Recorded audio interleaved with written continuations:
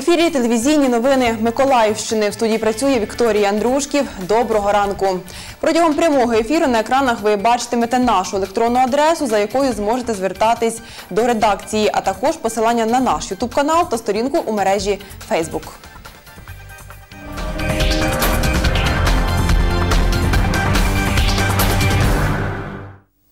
Депутата міської ради Олега Солтиса звинувачують у створенні фіктивної керуючої компанії «70-й мікрорайон. Про це повідомила жителька Миколаєва Ніна Рагуліна на під час брифінгу в міськраді.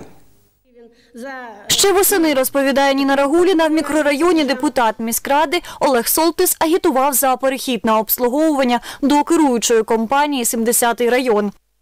Это дома по улице... Це будинки по вулиці Шоста Слобідська, номер 1-3, по колодязній номер 5А, 5Б, 18, по проспекту Центральному номер 158, 160, 186 і ще я пропустила будинок 7А.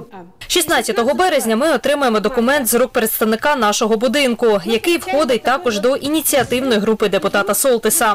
Називається він так: реквізити ТОВ керуюча компанія 70-й мікрорайон, оплата за комунальні послуги, розрахунковий рахунок в банку Приват та в Ощадбанку. Кому ми повинні платити? Я живу в цьому районі. Це мене змусило зайнятися питанням.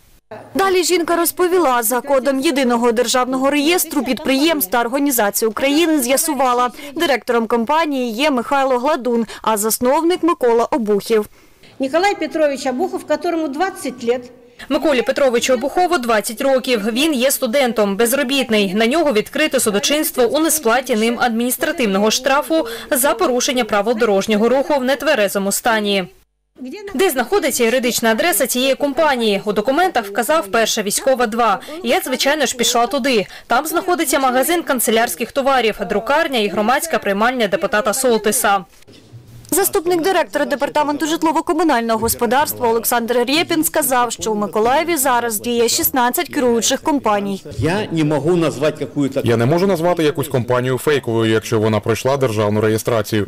Якщо Ніна Михайлівна має право висловити свої думки, то я, як чиновник, не повинен висловлювати щось рекомендувати. Також розповів, які саме платежі слід вважати коректними. Єдиним законним документом для платежу є квитанція, надіслана міським інформаційно-розрахунковим центром. Всі інші документи, які розносять по поштових скриньках, не мають ніякої сили. Якщо ви хочете вибрати іншу керуючу компанію, то будь ласка, але пройдіть від початку до кінця весь процес. Ми поспілкувалися з мешканцями будинку за адресою 6 Слобідська 3. Вони розповідають, нічого не підписували. Протокол самого собрания Протокол зборів мешканців будинку вона не показує. Тобто, де стоять підписи, квартира така-то, підпис за чи проти. Цього ніхто не показує. Я пройшовся по під'їзду, питав, хто ж підписував. Тобто основна частина навіть не чули про це.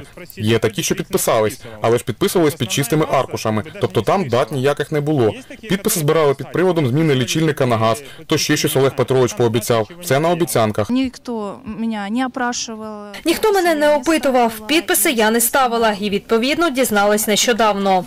Мені б дійсно хотілося подивитися Олександра Петровича Це протокол, в якому були підписи. Зокрема, за свою квартиру. Я побачила, чи взагалі я його ставила, чи не я. Микола Алєксєєв, який живе на 6 Слобідській 3, розповідає, за договором, який їм вручила старша будинку, 80-річна Інна Бедерева, компанія «70-й мікрорайон обслуговує цей будинок. Це управляюча компанія. Ця керуюча компанія, вона вже збирає жителів, а фактично штату місця немає. Ось там трохи далі знаходиться офіс, повністю порожня споруда. Я навіть не розумію, куди звертатись, щоб дізнатись більше інформації, ознайомитись зі штатом. Тобто на словах у них все добре звучить, а насправді все навпаки. Директор 70-го микрорайону, опять же, ну, подставной человек э, депутата Солтиса. И вот это нарушение, за которое говорили Бедрева Инна Яковлевна, недопустимо, чтобы один человек на весь дом э, составлял договор. Тут должна быть каждое имя хозяина. Членкиня наглядової ради від мешканців будинку, як вказано в документі, 80-річна Інна Бедерева спілкуватись з журналістами відмовилась. Ну так что говорить? Я, я себя сейчас неважно чувствую. Що Я казати? Я себе зараз погано почуваю. Був ЖЕК, а зараз компанія. Яка компанія? Я вас не знаю і не хочу я з вами розмовляти. Я зараз зайнята. Після розголосу щодо діяльності компанії «70-й мікрорайон будинок залишився на балансі ЖЕКу «Центральний 1». Вихід з ситуації миколаївці вбачають у створенні об'єднання співвласників багатоквартирного будинку. Только. Тільки мешканці будинку можуть покращити умови. Якщо ми будемо ставити прокладку в модернізації будинку, покращення життя, то ніякого результату не буде, і ми постійно будемо платити за те, що нами має хтось керувати. Ми намагались зв'язати з Олегом Солтисом. На зв'язок депутат не вийшов. Ми готові йому надати можливість відповісти на звинувачення людей. Катерина Балєєва, Ігор Чорний, телевізійні новини Миколаївщини. Свою роботу продовжують мої колеги з ранкового шоу Новий день. Я передаю слово їм. А ми з вами зустрінемось у цій студії за півгодини о 8.30.